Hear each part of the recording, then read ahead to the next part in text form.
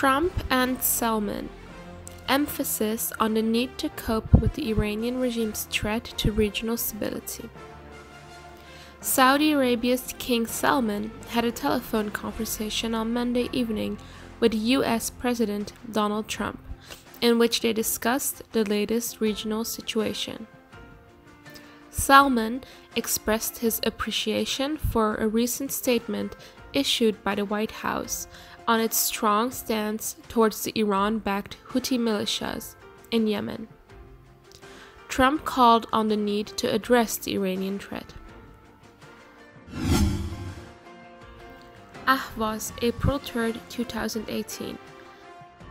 Dozens killed and wounded in fire.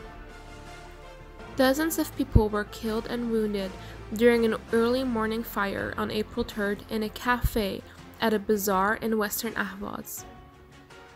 A spokesman for the Iranian Emergency Department announced that during the fire, at least 10 people were killed and 14 were injured. Houthi Iranian attack targets Saudi oil tanker.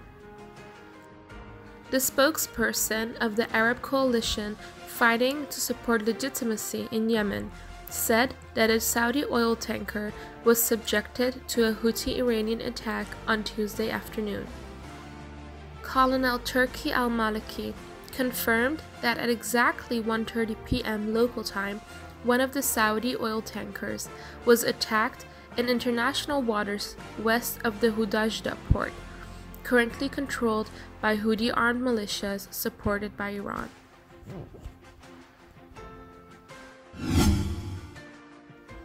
Border markets strike in the cities of Iran's Kurdistan province.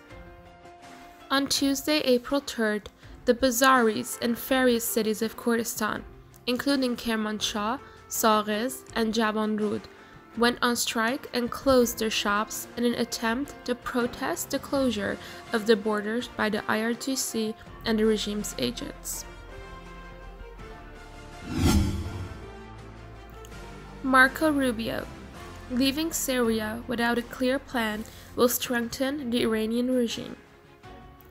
Senator Marco Rubio opposed the withdrawal of U.S. forces from Syria and said in a message that Donald Trump had made great progress in defeating ISIL in Syria and that we should leave Syria as soon as possible. But leaving without a clear plan and the vacuum left behind would undermine US security and boost Putin, the Iranian regime, and the Hezbollah. Marriage of young girls promoted by Iranian regime's TV serial. A TV serial broadcasted during the Nowruz holidays has been widely criticized by children rights activists in Iran for promoting marriage of young girls.